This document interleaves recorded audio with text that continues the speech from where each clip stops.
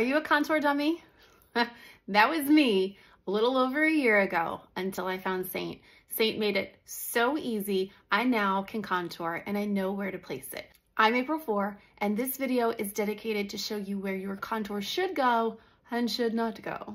So we want to place contour up at the top of our forehead in a rainbow motion and we want to stop right before we get to the bottom of our eyebrows.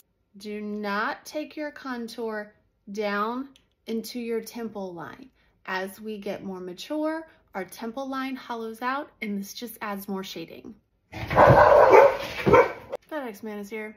Knew that was coming. Cheekbones. You want to draw an imaginary line from the corner of your lip to the top of your ear.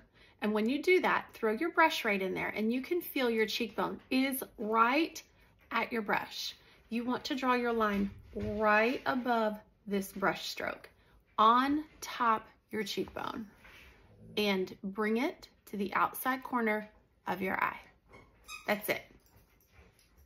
You do not want to bring that below your cheekbone. It's not lifting you up the way you want it to. Can you see the difference right there, at the angle?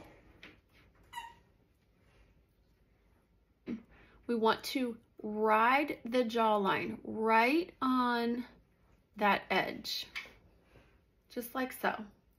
You do not want to bring it down under your neck. That does not sculpt out this jawline right here. It makes it actually look longer. Nose.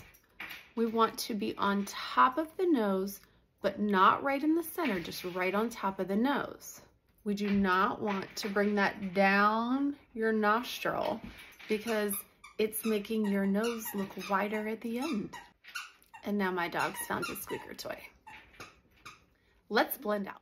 So when you look at both sides now, you can see this side is definitely more full here, not quite as shaded. It's definitely more lifted here in this cheekbone area where this feels very dull and it feels drugged down. And let's check out the jawline. So there's some ideas to help you with where to place your contour and where not to place your contour. I hope that helps you. So if you have questions, drop me a question in the comment. I'll be happy to come back and help you with anything that you need. My name is April Foor and I love to teach tips and tricks to all the mamas that don't feel comfortable with makeup because we deserve to feel comfortable with makeup. We deserve to feel our best. So stick around, follow me for more, and have a wonderful day. Be blessed.